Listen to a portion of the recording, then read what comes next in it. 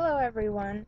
Using the conics relations we've learned, for my project I drew a little ladybug, and for its head I used a circle because I felt like it would look the best. It was fairly easy to position because its center is a few units right above its body is an ellipse.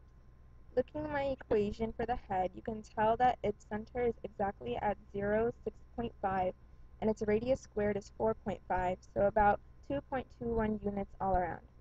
A big part of it was restricting the range so the head doesn't go through the body because it doesn't look nice.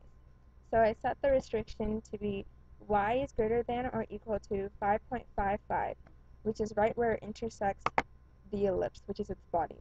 This gives me a nearly whole circle which stays neatly out of its body.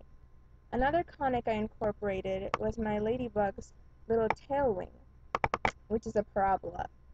And using the standard equation, I varied the value of p and decided that the value of 1, because this is 4p, looks the best because it fits well around my ellipse.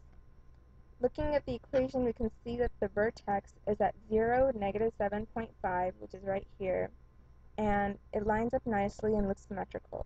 I restricted the range for this also so my parabola doesn't go on forever, so I contained the y values between 7, negative 7.5, its vertex, and negative 4 which is about where it intersects the ladybug's body. Those were a couple of conics from my picture and how I developed them. Thanks for listening.